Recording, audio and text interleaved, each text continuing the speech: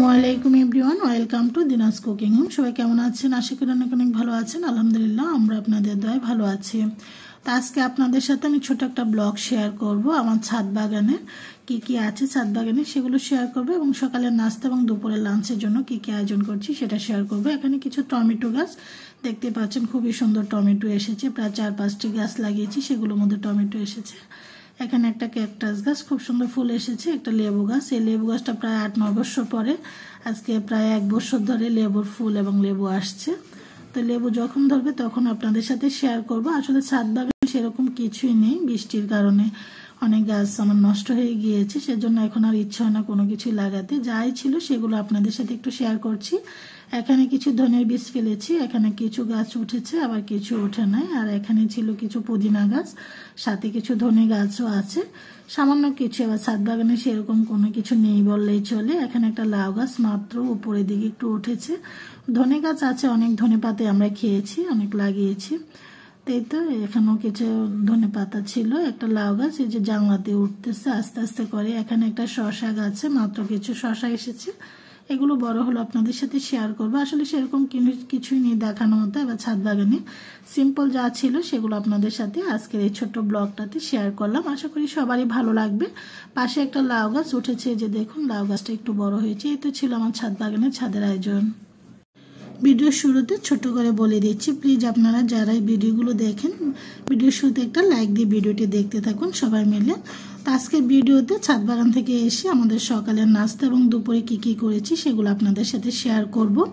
আর যারা অলরেডি আমার ভিডিওগুলো সবসময় দেখছেন, তাদেরকে অনেক অনেক ধন্যবাদ। আর যারা নতুন এখনও আপনারা দেখছেন, এখন আমার চ্যানেলটা সাবস্ক্রাইব করেননি। প্লিজ আমার চ্যানেলটা সাবস্ক্রাইব করে আমার এই ছোট্ট চ্যানেলটা সামনে এগিয়ে নিয়ে যেতে সাহায্য সহযোগিতা করবেন। সবাই মিলে দেখতে থাকুন কি কি আছে আজকে ভিডিওতে। এটা ছিল আমাদের সকালের নাস্তার আয়োজন। তো আমি এখানে সব কিছুই তৈরি করে নিয়ে এসেছি, ছাদ বাগান থেকে এসে। তো আমি এগুলো আর দেখাইনি আপনাদেরকে। এখানে আমি রুটি তৈরি করেছি। আজকে সকালের জন্য ডিম পোস্ট ছিল, ডিম পোস্ট আমার জন্য আর আমার হাজব্যান্ডের জন্য করেছি পেঁয়াজ কাঁচামরিচ এবং টমেটো দিয়ে। আর ছেলেটা মশারির ডাল ভোনা বড় ছেলে, ছোট ছেলে। বড় ছেলে কলেজে চলে গিয়েছে। তো আসলে সকালে নাস্তা খেয়ে যায়নি, যেহেতু সকালেই থাকে কলেজটা আর ছোট ছেলেকে নুডলস করে দিয়েছি। ও নুডলস খেয়ে চলে গিয়েছে। তাই তো আমি আর হাজব্যান্ড নাস্তাটা সেরে নিচ্ছি। আপনাদের সাথে আজকে একটা ড্রয়িং শেয়ার করছি। আমার ছোট ছেলে। ওটা আজকে একটা খুবই সুন্দর একটা প্যাঁচা এঁকেছে। সে ড্রয়িং করেছে। আপনাদের কাঁধে কাঁধে ভালো লেগেছে আমার ছেলের এই প্যাঁচা ড্রয়িংটা, আমাকে কমেন্টস করে সবাই কিন্তু জানাবেন। আজকে দুপুরের জন্য আমার কী কী আয়োজন ছিল? এখানে আমি সবজি কেটে নিয়েছি, ফুলকপি, গাজর, আলু দিয়ে আমি এখানে একটা সবজি তৈরি করব দুপুরের জন্য। এখানে তেলাপিয়া মাছ নিয়েছি, তেলাপিয়া মাছ আমি টমেটো দিয়ে ভুনা করব। এখানে নিয়েছি হলো মাছের জন্য কেটে নিয়েছি টমেটো ধনে পাতা কাঁচামরিচ, এগুলো লাগবে সবজি এবং এখানে মাছের জন্য, এখানে আমি মশার ডাল ভিজিয়ে ধুয়ে পরিষ্কার করে রেখেছি। অনেকক্ষণ ভিজিয়ে রেখেছিলাম। এটা হলো বেগুন। এখন আমি বেগুনটা দিয়ে ভর্তা তৈরি করব। দুপুরের জন্য আজকে আমাদের এই সাদামাটা আয়োজন ছিল। চুলা একটা ফ্রাই প্যান বসিয়ে এখানে পরিমাণ মতন সয়াবিন তেল দিয়ে দিচ্ছি। তো এখানে এখন আমি মাছগুলো প্রথমে ভেজে নিচ্ছি। তো এখানে আমি তেলাপিয়া মাছগুলোতে হলুদ এবং লবণ মাখি মাছগুলোকে ভেজে নেব। তো এখন মাছগুলো দিয়ে দিয়েছি। তো পাশের চুলা আমি আরেকটা ফ্রাই প্যান বসিয়ে দিয়েছি। তো এখানে আমি কিছু কাঁচা দিয়ে দিয়েছিল পেঁয়াজ। পেঁয়াজগুলোকে এখন আমি একটু হালকা করে ভেজে নেব। পেঁয়াজটা ভাজা হয়ে আসার পরে অ্যাড করছি পেঁয়াজ বাটা এক চামচ, হাফ চামচ দিয়েছিল রসুন বাটা। এক চামচের থেকে একটু কম দিয়েছিল ধনিয়ার গুঁড়া। এক চামচ মরিচের গুঁড়া, এক চামচ গুঁড়া দিয়ে এখন আমি মশলাটাকে কষিয়ে নিয়েছি একটু পানি দিয়ে।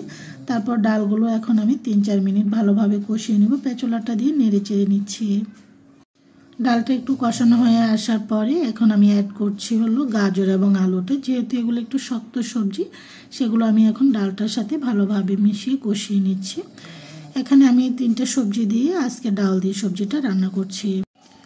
তো সবজিটা আমার কিন্তু কষানো হয়ে আসছে, ডালটাও কিন্তু অনেকাংশে ফেটে গিয়েছে। তো আমি আরও মাঝে একটু পানি, একটু একটু পানি দিয়ে কিন্তু আমি সবজিটাকে কষিয়েছি। যেহেতু এখানে কোনো রেসিপি শেয়ার করছি না, আজকে আমি একটা ব্লগ শেয়ার করছি। এখানে আমি অ্যাড করছি হলো ফুলকপিগুলো। যেহেতু আলু, গাজরটা প্রায় অনেকাংশে সিদ্ধ হয়ে গিয়েছে, আমি অনেকক্ষণ পর্যন্ত কষিয়েছি, দিয়ে দিচ্ছি হলো টমেটো। এখানে আমি ছোট সাইজের সাত আটটির মতন টমেটো নিয়েছি। তো যদি আপনাদের যদি আমার এই সবজি রান্নাটা যদি ভালো লাগে, আপনারা রান্না করে খেতে পারেন যারা সবজি প্রেমী। তো এখন আমি ঢাকনাটা দিয়ে ঢেকে দিয়েছি সবজিগুলোকে। তো এখানে আমার পাশে চুলা, আমার মাছগুলো ভাজা হয়ে গিয়েছে, এখন মাছগুলো উঠিয়ে নিব। এখন আমি মাছ ভাজা ফ্রাই প্যানটার মধ্যে যে বেগুনগুলো দিয়ে ভর্তা বানাবো, সেগুলোকে হলুদ, লবণ, একটু মরিচ মাখিয়ে এগুলোকে ভেজে নিচ্ছি ভর্তা বানানোর জন্য। এখন আমার বেগুনগুলো ভাজা হয়ে গিয়েছে আমি এটা দেখাতে যাইনি আমি যখন ভর্তা বানাবো তখন আপনাদেরকে দেখাবো। এখন পরিমাণ মতন সয়াবিন তেল দিয়ে দিচ্ছি। আমি এখন মাছটা ভুনা করার জন্য এখানে অনেকগুলো প্রায় এক কাপের মতন পেঁয়াজ কুচানো দিচ্ছি। এখানে পেঁয়াজ কুচানোটা আসলে যার যার পছন্দ মতন, আসলে ভুনার মধ্যে একটু পেঁয়াজ কুচানোটা একটু বেশি দিলে ভুনাটা খেতে অনেক ভালো লাগে। এখন আমি পেঁচুলাটা দিয়ে নেড়ে চেড়ে নিচ্ছি পেঁয়াজগুলোকে। তো আমার পাশের চুলাটা প্রায় সবজিটা প্রায় হয়ে এসেছে। দেখতে পাচ্ছেন কালারটা অনেক সুন্দর এসেছে, আলহামদুলিল্লাহ। এখন নেড়ে চেড়ে দিচ্ছি। তো সবজিটা আমার আস্তে আস্তে কিন্তু পানিটা অনেকাংশে শুকিয়ে এবং ডালটা ঘন হয়ে এসেছে। এখন দিয়ে দিচ্ছি কিছু কাঁচামরিচ। কাঁচামরিচগুলো একটু মিডলে ফালি করে দিয়েছি যেন কাঁচামরিচ ঝালটা একটু বের হয়। দিয়ে দিচ্ছি কিছু ধনে পাতা। যেহেতু আমার সবজিটা অলরেডি হয়ে গিয়েছে, তো এখন আমি নেড়ে চেড়ে একটু মিশিয়ে দিচ্ছি ধনে পাতা এবং কাঁচামরিচগুলো পেঁচলাটা দিয়ে। এদিক দিয়ে আমার পেঁয়াজগুলো প্রায় নরম হয়ে এসেছে। আমি এখানে কোনো গোল্ডেন কালার করে ভাজিনি। তো আমি এখানে একটা বাটির মধ্যে পেঁয়াজ বাটা, রসুন বাটা, আদা বাটা, একটু জিরা বাটা, হলুদ এবং মরিচ দিয়ে, পানি দিয়ে গুলে মশলাটা ঢেলে দিয়েছি। যেহেতু আমি এখানে কোনো ইয়ে করছি না রেসিপি দিচ্ছি না, সেজন্য আমি মশলাগুলো এত মেজারমেন্ট করে দিইনি। মশলাটা যখন কষানো হয়ে এসেছে, এই অবস্থায় দিয়ে দিচ্ছি। এখানে আমি দুটো টমেটো নিয়েছি, বড় সাইজের, আর কিছু ধনে কাঁচামরিচ দিয়েছি। এখন এগুলোকে দিয়ে আমি টমেটোটা এবং মশলাটার সাথে ভালোভাবে কষিয়ে নেব দুই তিন মিনিটের জন্য। টমেটোটা আমার কষানো হয়ে এসেছে, আপনারা দেখতেই পাচ্ছেন। তো এখন আমি দিয়ে দিচ্ছি হলো মাছগুলো। আমি যে মাছগুলো, তেলাপিয়া মাছগুলো ভেজে রেখেছিলাম, সেই মাছগুলো এখন দিয়ে দিচ্ছি। এখন দিয়ে আমি এখন মশলাটার সাথে এখন মাছগুলো একটু নেড়ে চেড়ে দিচ্ছি, মিশিয়ে দিচ্ছি। তারপর এখন আমি অ্যাড করছি হলো এক গ্লাসের মতন পানি। তো পানিটা দিয়ে যেহেতু ভুনা করবে, এখানে অত বেশি একটা পানির প্রয়োজন নেই। এখন পানিটা দেওয়ার পরে মাছগুলো আমি ভালোভাবে মশলাটার সাথে নেড়ে চেড়ে মিশিয়ে দিচ্ছি, যেন মশলাটা যেন কোথাও যেন দলা পাকিয়ে না থাকে। এখন ঢাকনাটা দিয়ে ঢেকে দিয়েছি, মাছ ভুনাটা হওয়ার জন্য অপেক্ষা করছি। এখানে আমি দুটো ডিম দিয়েছি সিদ্ধ করে, আমার বড় ছেলের জন্য। উনি আবার মাছ ভুনা খেতে পছন্দ করেন উনি এত মাছ পছন্দ করেন না। সেজন্য ওনার জন্য ডিম দেওয়া হয়েছে। তো এখানে আমার মাছ বোনাটা হয়ে গিয়েছে। তো এখন আমি পেঁচুলাটা দিয়ে নেড়ে চেড়ে দিচ্ছি। আমি চুলাটা অলরেডি অফ করে দিয়েছি। এখন আমি মাছটা উঠিয়ে নিব। তো এখানে এদিক দিয়ে আমি বেগুনটা থেকে চামড়াটা ছাড়িয়ে নিয়েছি। এখন আমি কী কী অ্যাড করছি? ধনে পাতা, তারপর পেঁয়াজ, আমি শুকনো মরিচের গুঁড়া দিয়ে এখন বেগুন ভর্তাটা করছি। এখানে একটু মরিচ দিচ্ছি, লবণ দিচ্ছি।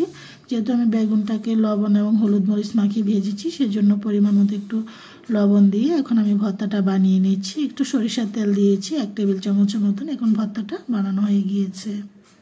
এখন রান্নাবান্নাগুলো সব কিছু হয়ে গিয়েছে। তো এখন আমি এক এক করে ডাইনিংয়ে সব কিছু সাজিয়ে দিয়েছি। যেহেতু সবাই নামাজ গোসল টোসল সেরে নামাজ পড়ে এখন সবাই চলে আসবে খাওয়ার জন্য, সেজন্য আমি সব কিছু ডাইনিংয়ে গুছিয়ে রাখছি।